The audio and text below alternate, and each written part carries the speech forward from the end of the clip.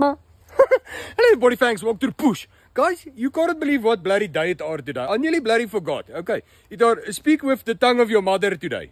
No. yeah. Moederstaaldag. Yeah.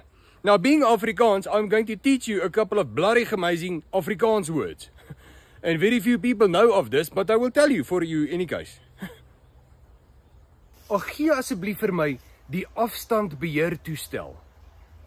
Pragtige dag hier in die Bosveld, nê? Haai, kyk, daar loop 'n pofmossel.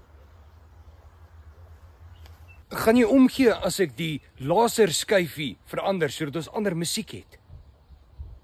Dis by daai klein dorpie wat almal ken. Twee buffels met een koel mors doodgeskiet fontein. Dit seksie hoor. Koek suster. Melktert. Njabbe. Boerewors.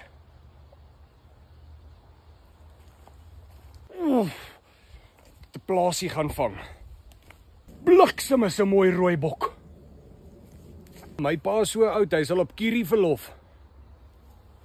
Wat was daai ding se naam nou weer? Ag, jete, weet jy wat ek het nou net 'n breinpouse gehad. Mag ek asseblief nog een kol wyntjie kry asseblief? Jete, dis blurry luk raak. Jannie, as jy nou weer 'n vloermoer gooi, nê, nee, dan gaan ek jou pankreas verwoes. Jette.